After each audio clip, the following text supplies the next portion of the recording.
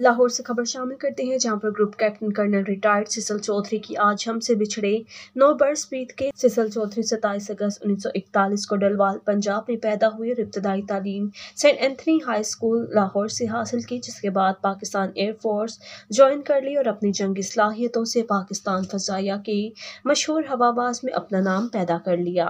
सिसल चौधरी ने उन्नीस सौ पैंसठ जंग में कई अहम मार्कों में हिस्सा लिया और भारत के तीन जहाज़ भी मार गिराए। एक मरतबा भारत की फिजा में लड़े जाने वाले एक मार्का में सिसल चौधरी के जहाज़ का ईंधन बहुत कम रह गया। सरगोदा एयरबेस तक वापसी नामुमकिन थी। जहाज़ को महफूज इलाके में ले जाकर उसे पैराशूट के ज़रिए निकला जा सकता था, मगर एक एक जहाज़ पाकिस्तान के लिए कीमती था। हाजिर दिमाग सिसल ने एक इंतहाई जरूरतमंदाना फैसला किया।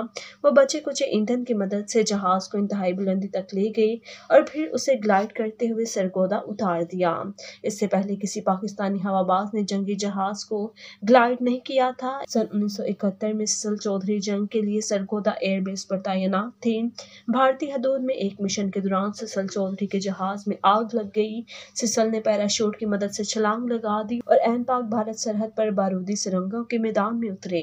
उन्हें पाकिस्तानी मोर्चों तक पहुँचने के लिए महज 300 गज का फासला तय करना था। इस इलाके से उनका ज़िंदा निकल आना एक मोजे से कम नहीं था।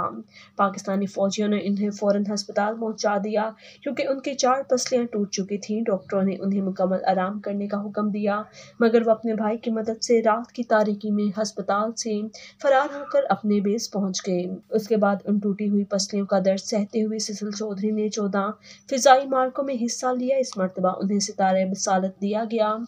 जंग के बाद उन्नीस सौ उनहत्तर तक सिसिल चौधरी मुख्तलिफ़ इलाकों में तैनात रहे। उन्होंने पाक फजाइया के सबसे आला फजाई, बेड़े के सरबराही भी की।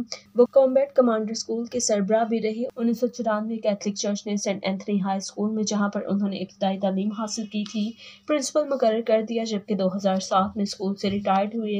उस वक्त स्कूल के बच्चों की तादाद सैंतीस सौ थी।